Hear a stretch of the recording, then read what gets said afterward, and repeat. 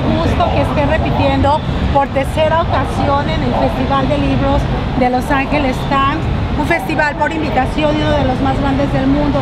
¿Cómo se siente después de la presentación? No, pues me siento muy contento, pues sobre todo porque estuvo eh, engalanado con la presencia de la música de mi hijo y de un mago que hizo maravillas y que capturó también la atención y el aprecio del público.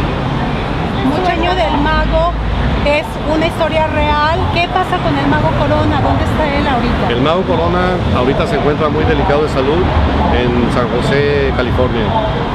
Y maestro, si pudiésemos resumir de alguna manera cuál es la mayor enseñanza que el libro da a la audiencia, a los lectores.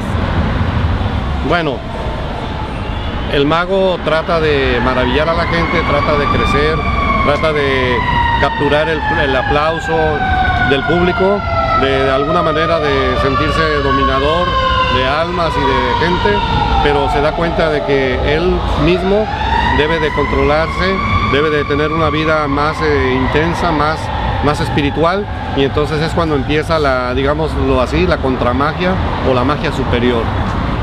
Y bueno, este reconocimiento es muy importante de parte del concejal Coren Price, el concejal del distrito aquí en la Universidad del Sur de California.